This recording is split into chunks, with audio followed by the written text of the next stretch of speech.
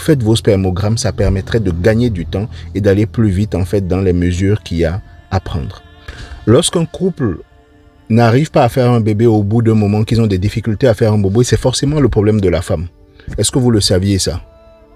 Non, franchement, non, non, non, c'est pas le cas.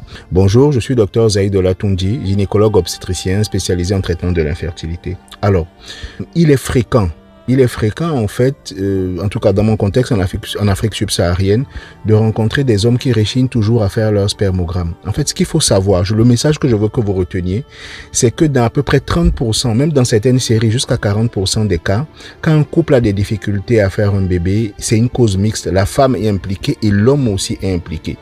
Donc, je comprends que c'est difficile pour certains hommes de faire le seul examen qu'on leur demande parce que c'est pas évident, oui, ça peut se comprendre, mais il va falloir faire votre spermogramme. Même si vous avez eu des enfants dans le passé, que vous avez un dernier enfant qui date de quelques années, sachez qu'on peut avoir eu des enfants et ne pas avoir un sperme qui soit optimal.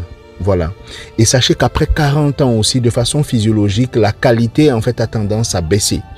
Donc, je vous en prie, lorsqu'il y a des difficultés en couple, il ne s'agit pas forcément de la femme. Dans, plus d'un tiers des cas, en général, l'homme aussi est impliqué.